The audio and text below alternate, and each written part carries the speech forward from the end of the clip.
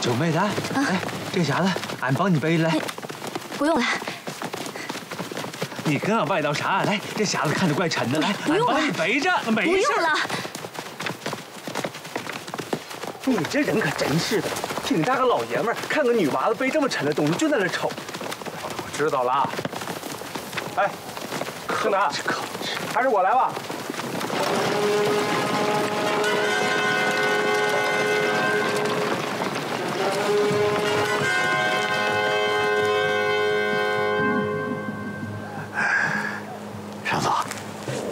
你说为了几个土八路，皇军如此兴师动众，是不是太不值当了？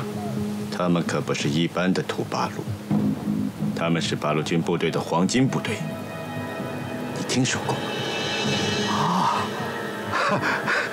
原来是为了黄金的。哎呀，正南，累坏了吧？还是我来背会儿吧。不用。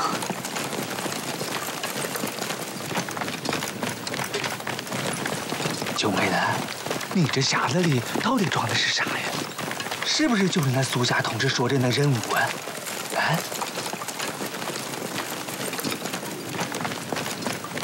神刀。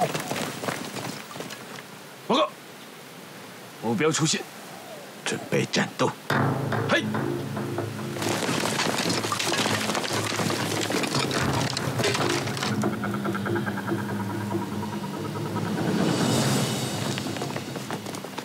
正南，康大毕业以后，我们就失去了联系。怎么样？这一年多来过得还好吗？挺好的呀。离开军区以后，一直在司令干部处工作。你呢？你怎么样？我也还好。回来以后就被调到了挺进纵队一营一连。哎，正南，这一年不见，你变化可真够大的。和以前相比，精神干练多了。颇有些巾帼不让须眉的架势。你还记得吗？当时班里边你的日语成绩是最好的，老师让你上台去念日语的时候，你整个脸都红透了。我当时急的，真想上去帮你念。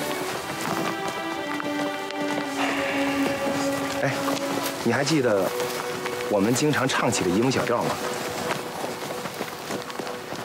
人人那个都说哎，沂蒙山好。那挺死日本话谁不懂？俺也懂。好风光。